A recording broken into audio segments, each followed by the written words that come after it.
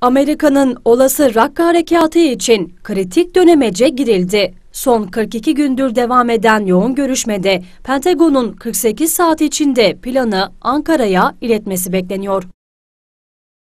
Plan için gözler Washington'a çevrilmişken Cumhurbaşkanı Tayyip Erdoğan da Milli Savunma Bakanı Fikri Işık ve Genelkurmay Başkanı Orgeneral Hulusi Akar'la olası Rakka operasyonunu görüştü. Geldin başkanım sağ olun. Rakka harekatı için Türk Silahlı Kuvvetleri Amerika'ya iki plan sunmuştu.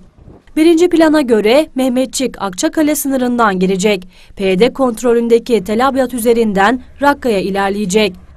Türk ordusunun ilerleyişi sırasında PKK-PYD 20 kilometre genişliğinde bir alan açacak. Türk askerleri PKK-PYD alanından 54 kilometre ilerleyecek. Şimdi burada e, netice olarak böyle bir anlaşmanın yapılması zımnen PYD bölgesinin, PYD kantonlarının kabul edilmesi demek.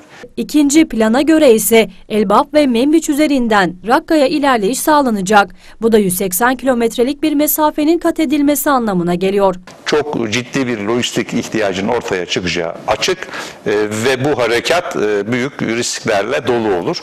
E, askeri açıdan e, böyle bir hareket tarzı seçilmez. Türkiye, Amerika'nın Rakka harekatında yer alırsa 4000 civarında askeri personelin operasyona katılması bekleniyor.